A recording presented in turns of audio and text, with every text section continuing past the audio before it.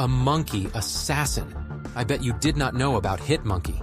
This is a snow monkey in Marvel Comics who became a hitman after his monkey tribe was killed by a group of murderers. He went to Japan and trained himself in martial arts.